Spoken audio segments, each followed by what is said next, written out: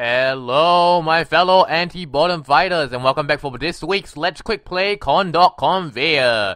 For those of you who don't know, Let's Quick Play are stuff that I do to spice up the channel schedule every Monday, so I won't get complaints from the Rob or something.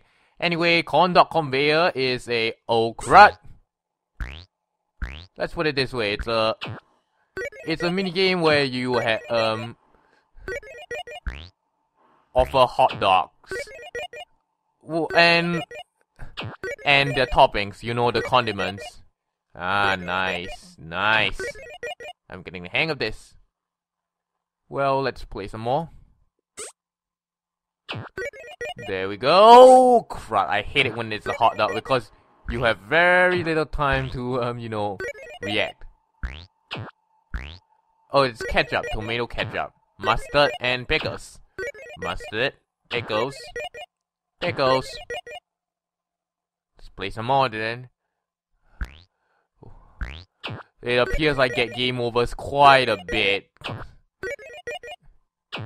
There we go, normal one.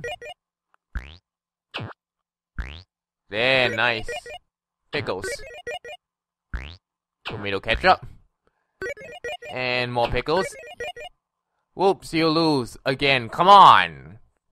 Can I stop losing? Okay. Nice. This is what it's like to work in a fast food restaurant, folks. People are very, very picky. Nice. Good. And they expect their food to be delivered very, very fast. Lose again? Ah, that's it. If you enjoyed this episode of Let's Quick Play Corndog Conveyor and how it's like to work as a fast food restaurant worker, and do feel free to leave a like or be an anti-boredom fighter and subscribe. Uh, next time, uh, we'll play a different game next week. See you guys next time.